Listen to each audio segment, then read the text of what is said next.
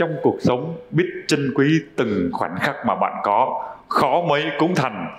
Tôi là vũ thành vinh đến từ khoảnh khắc cuộc đời.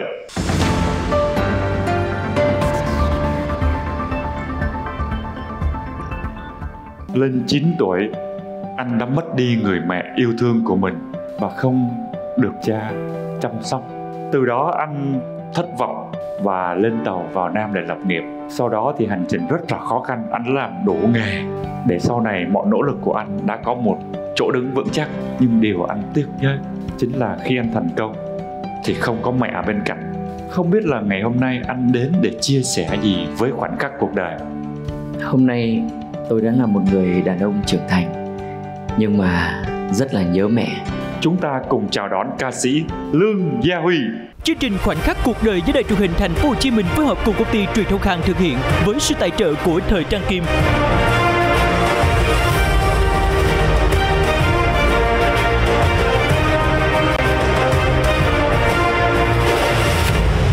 Xin gửi lời chào bình an đến quý vị. 24 giờ trôi qua, chúng ta lại có dịp gặp nhau để chia sẻ những khoảnh khắc ý nghĩa trong cuộc sống. Và ngay bây giờ, chúng ta sẽ đến với một khoảnh khắc và tôi nghĩ rằng cũng rất nhiều cảm xúc và nhiều ý nghĩa. Chúng ta cùng chào đón ca sĩ Lương Gia Huy. Em chào anh à, Thành Vinh. À, em đã xem anh rất nhiều. À. Hôm nay em rất là vui khi được đến gặp anh và đến với chương trình Khoảnh khắc cuộc đời. Ừ. Và giờ phút này thì khán giả rất thắc mắc tại sao ông Vũ Thành Vinh kỳ này lại chuyển qua một cái vị trí khác. Thường thì à, vị trí của Lương Gia Huy là tôi ngồi và ngày hôm nay chúng tôi có một sự thay đổi nhỏ và hy vọng là ở vị trí nào thì à, tôi vẫn làm tốt vai trò của mình ạ. Anh được biết là Lương Gia Huy là từ ngoài Bắc vô đây à? Dạ, em à, quê gốc Thái Nguyên. Em vào đây năm bao nhiêu? Em vào đây năm à, 90. Giây phút đầu tiên mà em đứng mà em chia sẻ về mẹ của em anh rất là xúc động.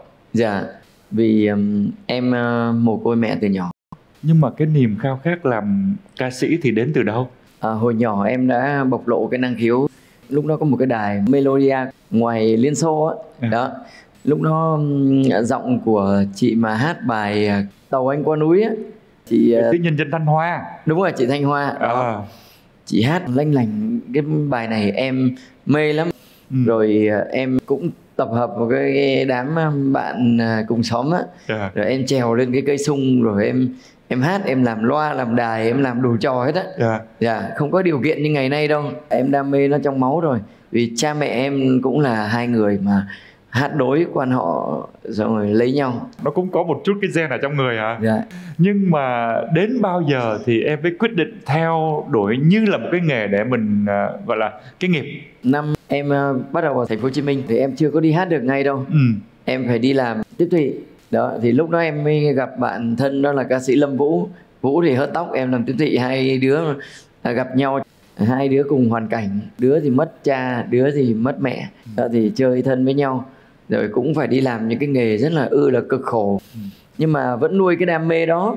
Thì một ngày đến một cái chỗ hát với nhau ở Tân Bình á thì lúc đó cái bài mà anh nghèo đâu có nhận kim cương. Đó dạ nhẫn cỏ cho em. Ừ. sau đó thì anh chế thành hát nức nở lắm. Rồi nghe anh mạnh quỳnh hát nữa. Mình à, hát ờ, theo cái feel cái cảm giác mình thôi chứ không có biết được ngân nga nhà chữ như hôm bây giờ đâu. À. thì em mới lên hát cái chủ quán mới nói ngày mai đến chơi không cần phải trả tiền nước nữa. Em mới nghĩ là à thì ra là chắc là mình cũng hát hay rồi một ngày em mới đi hát tại một cái rạp tại bà rịa là đã được đi hát tập kỹ rồi Ừ. đó thì em mới hát cái bài nhà tôi trên bến sông có chiếc cầu nhỏ cong cong Chị tôi của Trần Tiến. thì may mắn là được mẹ nuôi của em đó là thay đổi định mệnh cuộc đời luôn á Ừ. thì em mới được gặp mẹ Kim Ngọc mẹ mới nói o cái giọng này được này mẹ thấy thương đứa nào nghệ sĩ mà trẻ có tố chất rồi ham học hỏi chịu khó chịu thương đó À. thì mẹ giúp thôi. Em mới được mẹ dẫn đến sân khấu chống đồng 126 sân khấu sở thú nữa. Được hát những cái sân khấu đó thật sự là bước vào hàng chuyên nghiệp rồi. Lúc đầu vào sân khấu đó hát còn phải chật nhịp này còn bị ban nhạc la mắng dữ lắm. Tại vì ờ, ra lúc đó là em nhớ là anh Quang Linh đang hát nổi tiếng cái bài mà đã bao lâu rồi không về miền Trung thăm người em? Đó. Thì em ra em dáng em hát làm sao phải giống được anh Quang Linh? Thì ra là mình là hàng F1 mà. Thì mình ra mình hát làm sao nó để mà coi như là được trụ lại ở cái sân khấu đó. Ừ. là một hạnh phúc rồi. Mà hát trước ờ, cả ngàn khán giả mình khớp mình run ghê lắm. Lúc đó là lương gia huy bao nhiêu tuổi ta? Hình như là cũng đã hai mấy rồi phải nói là những cái phút giây đó là những phút giây định mệnh Dạ. mà thay đổi cái khoảnh khắc cuộc đời của lương gia huy. Ừ. sẵn anh hỏi thì em kể nốt luôn được không ạ? Được ạ. Dạ. Khoảnh khắc tiếp theo là em cũng thay đổi nhưng mà để trở thành nổi tiếng đi hát gọi là ca sĩ trẻ hát lót đó thì cũng đã được 4 5 năm rồi. Thì gặp mẹ nuôi của anh Hoài Linh đó là Má Ngọc Kali đó. Thì ờ, lúc đó anh Đàm Vĩnh Hưng nổi khủng khiếp lắm. Tụi em là ca sĩ trẻ mà được hát nhạc của những bậc đàn anh là mình sướng rồi. Miễn là hát cái nhạc gì để cho mọi người vỗ tay. Thì vỗ tay thì bầu xô mới trả cát xê cho mình. Thì ờ, sau đó má ngọc mới nói câu con hát cái nhạc này này là đi sang mỹ được này. Giọng con được đi qua mỹ hát được. Thiếu cái gì giúp. Rồi thì mới cho em mượn 2.000 đô. Vậy là kể ra cuộc đời của lương gia huy gặp nhiều quý nhân quá nhỉ? Dạ đó. Nhưng mà rõ ràng là cũng phải do cái cách là em sống dạ. với được nhiều người yêu thương như vậy. Dạ. và mẹ cũng rất là tự hào Dạ, bây giờ thì không biết được mẹ có tự hào hay không Nhưng mà em về ờ, quê thì em đã xây được nhà từ đường. Em đã làm được những việc công đức. Và quay trở lại cái câu chuyện sau khi được mẹ nuôi của anh Hoài Linh. Dạ, lúc đó thì ờ, thời điểm đó là lương gia huy có những cái chuyến xuất ngoại đúng không? Dạ em được chuyến xuất ngoại đầu tiên.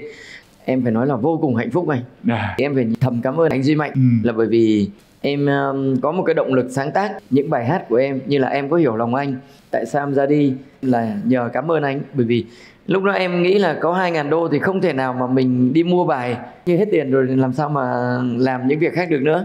Thì em mới nghĩ là thôi thì không có cách gì bằng tự lực sản xuất. Tự mình phải mày mò, tự mình phải sáng tác. Tại vì mình hiểu được cái chất giọng âm trầm, giọng thổ của mình. Hình như thời đó là anh Duy Mạnh đang có cái bài nổi tiếng là kiếp đỏ đen. Dạ kiếp đỏ đen. Anh ấy phát hành là 204 ừ.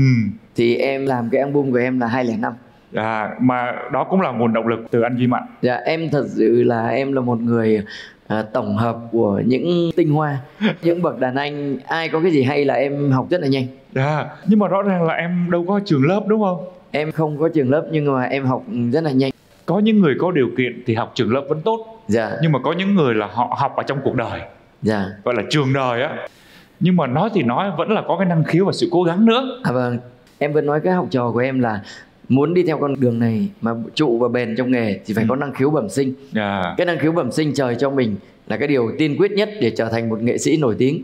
Cho nên là những lúc mà em học lén thì thật sự là em chỉ có cái cơ hội là vừa đi tiếp thị vừa đến nhà văn hóa thanh niên nhìn vào cái lớp học thấy các thầy mấy mấy mấy mà mà mô mô á. Mình học lén theo. Ừ. nhưng mà em cũng mua một cuốn sách về. Em nhìn vào khuôn nhạc em biết đọc nốt. Thật sự là cái đó thì bản thân là mình không có trách cha mẹ mình nghèo ừ. không có cho mình được đi học. Những cái điều đó nhưng, mà, mình bản có tìm mọi cách để mình có thể bổ sung kiến thức cho dạ đúng rồi. Chúng ta đã phát họa chân dung đôi nét về ca sĩ lương gia huy. Ngày hôm nay thì mọi người đã biết lương gia huy. Dạ. Và em cũng đã có chỗ đứng để có thể cống hiến cho cuộc đời. Nhưng mà em cũng rất là tiếc và buồn vì mẹ không có được chứng kiến những cái khoảnh khắc mà vinh quang của em dạ đó là một cái nỗi đau lớn nhất trong cuộc đời. Cái ngày mà mẹ em mất em chỉ là một đứa trẻ chưa được 9 tuổi. Và em khóc rất là nhiều. Tối nào em cũng suy nghĩ là hay là mẹ giả bộ mẹ đi đâu á xong rồi mẹ sẽ về với mình thôi. Thì sau này mình lớn rồi mình biết thật thậm chí là bây giờ luôn em vẫn có cái suy nghĩ là con nhớ mẹ lắm. Nhớ cái mùi của mẹ. Trong ký ức của em nhớ về mẹ nhất là điều gì? Nhớ cái hình ảnh mẹ mặc áo ờ, bà ba rồi đi ra ngoài ruộng. À, rồi đi làm rất là vất vả. Một đêm chỉ ngủ được có hai ba tiếng thôi. Dạ. à, phải đi à, bán cháu lòng để nuôi được ừ, bốn người con trai và một chồng tức là bố em. Bố em thì thật sự là đi bộ đội về nhưng mà lại không được tâm lý. Cũng hay mắng các con. Chính vì cái điều đó làm em cảm thấy em tủi thân. Ừ. và em đã nhảy tàu đi à, chỉ có 2.000 đồng trong người thôi. Kiểu đi tìm một cái cơ hội một cái chân trời mới ước mơ để thay đổi cuộc đời. Cho anh hỏi này ở trong các cái bài sáng tác á, có bài nào em sáng tác dành cho mẹ không? Dạ cái điều đó là em khiếm khuyết. Em ờ, chưa làm được điều đó. Dạ thơ thì mình đã viết được. Nhưng mà anh rất là mong chờ và khán giả cũng rất mong chờ đến một lúc nào đó thích hợp. Dạ. Em sẽ có một cái cảm xúc đặc biệt anh Dạ. nghĩ là những cái cảm xúc đặc biệt đó thì nó cũng phải có thời gian. Nhưng mà Dạ. trong quá trình đi hát thì em có khi nào hát về một bài hát nào về mẹ không? Em hát nhiều anh. Em hát bài nước mắt mẹ hiền của thầy ngọc sơn.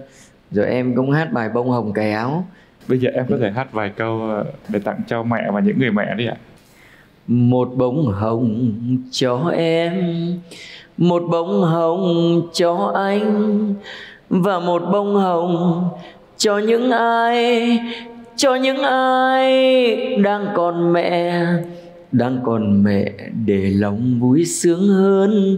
Rủi mai nay mẹ hiền có mất đi, Như đóa hoa không mặt trời, Như trẻ thơ không nụ cười. Ngỡ đời mình không lớn khôn thêm Ngỡ bầu trời như ánh sao đêm. Anh nghĩ là mẹ đang nghe tất cả những tâm tư những khát khao những mong muốn và mẹ rất là tự hào. Dạ. Bây giờ mình sẽ nói một chút về những cái dự án của tương lai. Vinh rất là bất ngờ khi mà Lương Gia Huy được rất là nhiều khán giả miền Tây yêu thích. Đó là một cái tình cảm rất là đặc biệt mà bạn dành cho mảnh đất này. Dạ Em à, cũng nghĩ đây là quê hương thứ hai của em. Và các con của em bây giờ sinh ra thì cũng đều nói tiếng Nam hết. Dạ. Bản thân em có thể em nói tiếng Nam. Em à, có thể dùng từ của miền Nam. Ừ. Nhưng em vẫn phải nói cái giọng của quê em. Dạ. Bởi vì à, quê hương nó luôn trong trái tim mình. Ờ, nói một chút về những dự định sắp tới. Thì em là người rất là tham vọng Vì em hát được nhiều dòng nhạc. Ừ.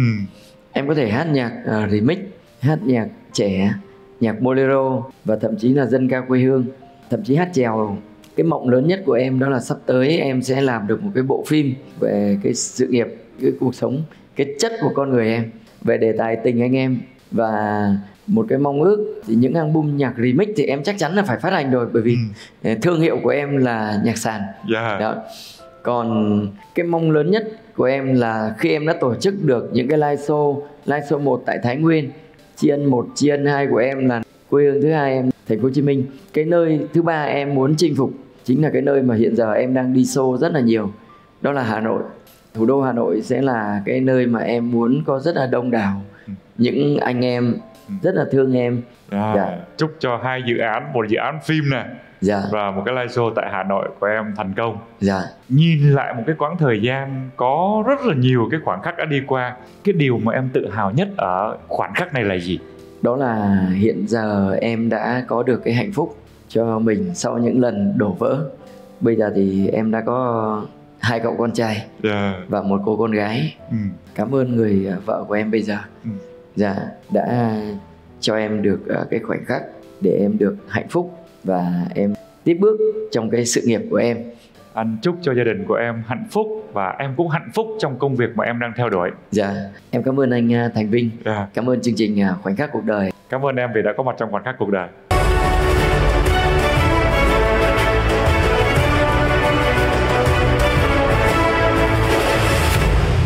Ở khoảnh khắc cuối này thì à, chương trình sẽ dành ra một ít giây để Lương Gia Huy sẽ chạm vô những cảm xúc mà bạn muốn chia sẻ nhất. Thứ nhất là bạn sẽ nói về bản thân của mình, thứ hai là nói về những người thân yêu, thứ ba là nói với khán giả, với cộng đồng của mình. Bây giờ Lương Gia Huy sẽ đưa tay về phía trước và chạm vô một trong ba cảm xúc đó. Anh rất là tò mò không biết là Lương Gia Huy sẽ chạm vô cảm xúc nào đây. cái cảm xúc của em đó là đặt tay lên ngực là một người à, đàn ông mình sống có tâm và sống chân thành, sống làm sao để cho tất cả mọi người phải yêu thương và thầm trong em đó là đắc nhân tâm, sống phải làm sao đó cho chọn trái tim của tất cả khán giả luôn yêu thương mình. Không phải bây giờ mà mãi về sau vẫn thương cái tên Lương Duy này. Với những gì Lương Gia Huy đã tâm huyết và luôn luôn trân quý những cái gì mình đã đi qua. Cả những khoảnh khắc mà cậu ấy cơ cực nhất thì chúng ta càng trân quý hơn con đường sự nghiệp của Lương Gia Huy. Và anh tin chắc rằng với những tình cảm đó, bạn sẽ chinh phục được rất là nhiều khán giả. Khoảnh khắc cuộc đời cảm ơn rất là nhiều. Lương Gia Huy đã đến đây để chia sẻ khoảnh khắc cuộc đời mình. Và chúng tôi một lần nữa cảm ơn quý vị vì đã yêu thương khoảnh khắc cuộc đời vào khung giờ quen thuộc 22 giờ 45 phút trên HTV9 đây là khoảnh khắc cuộc đời năm thứ tư và chúng ta có hẹn với nhau 24 giờ tiếp theo. Xin chào và hẹn gặp lại. Chương trình Khoảnh khắc cuộc đời với Đài truyền hình Thành phố Hồ Chí Minh phối hợp cùng công ty truyền thông Khang thực hiện với sự tài trợ của Thời Trang Kim.